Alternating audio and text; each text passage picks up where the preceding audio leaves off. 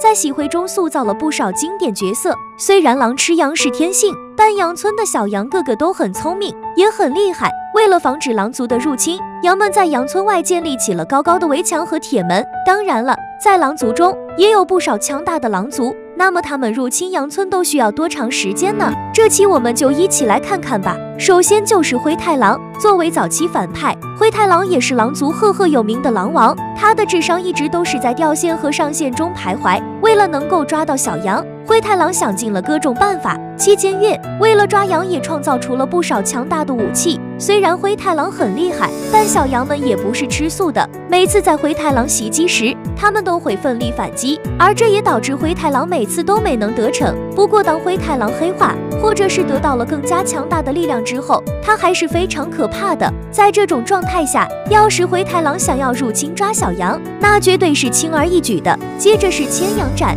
他绝对是狼族的传奇人物，不仅实力强大。且老谋深算，在抓羊这块上，他非常有经验。毕竟他就连名字也是按抓羊数量得来的。所以当小羊们遇上这么老谋深算的千羊斩，他们的那些套路都起不了作用，甚至轻易就会被识破。所以千羊斩要是入侵羊村，估计他只要一个小时就可以了。接着是小白狼，他是狼族贵族，也是红太狼的初恋。当初小白狼曾来到去青青草原拜访红太狼夫妇。灰太狼因为吃醋，有心想让喜羊羊他们收拾他，可没想到的是，小白狼凭借他绝对的实力，直接就将所有小羊抓了过来。甚至小白狼入侵羊村，可以说就跟入无人之境差不多。他的入侵事件只需要一分钟。最后一位非常厉害，他就是我们熟悉的小灰灰。因为他的特殊性，他成为了羊羊界最受欢迎的小羊。虽然小灰灰是灰太狼的儿子，不仅不吃羊，反而和小羊们做起了朋友。